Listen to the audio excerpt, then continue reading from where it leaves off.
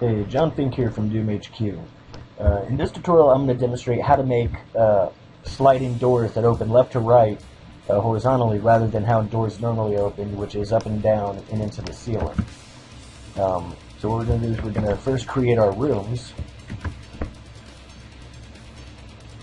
We're going to scroll in and we're going to connect them with the hallway like you normally would when you create a door. Okay, now that we've got our space for the door to go into, we're going to create a dummy sector that's actually going to have the, the door in it. Remember, when you're making um, the doors, it needs to be the same size as the place that it's going to populate. And since we need this to face out, so we can activate it, and we don't need it to be double-sided, so switch to sector mode, selects the center of the uh, sector, and hit delete. Now what we're going to do is we're going to texture our door and we're going to set its action. Slide. It'll be a poly object 1. I'm going to use a speed of 5. A movement angle of 128 is left and right. Um, I'll include a place where you can download a list of the angles and which direction they correspond to. Um, movement length needs to be at least the length of the door or whatever. I usually go for a little bit less so it doesn't go completely into the wall and has a little lip to it. And the delay is how long to wait before you close the door. Uh, 50 is a pretty okay uh, value for that. Uh, we're going to make it a repeatable action, and we're going to set it to when the player presses use. Now that we've got that, we're going to start on defining the parts of the poly object or itself. We're going to click here, and since the outermost section is going to be seen, we're going to texture that, and we're going to give it an action of poly line start. And this is actually where you define the poly object itself. So we're going to give it a poly object number of 1.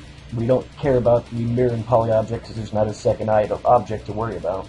Uh, the sound number is the number for the uh, sound in your sync sound sequence that you'd like to use.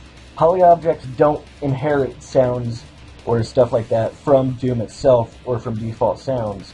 You actually have to tell it what sound you want it to use for the poly object when it's activated. So in this case, I have some sound sequences set up. I'm just going to go ahead and use zero. With that in place, we go into thing mode and we're going to set a poly object anchor.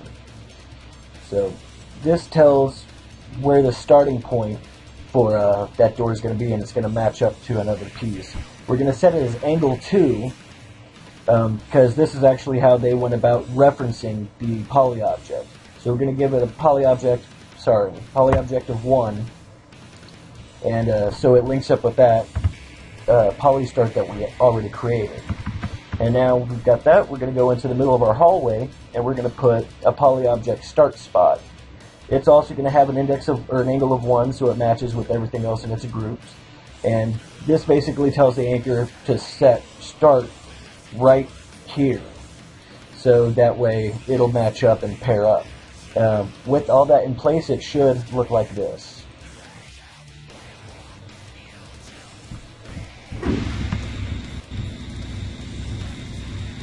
There you go, simple as that.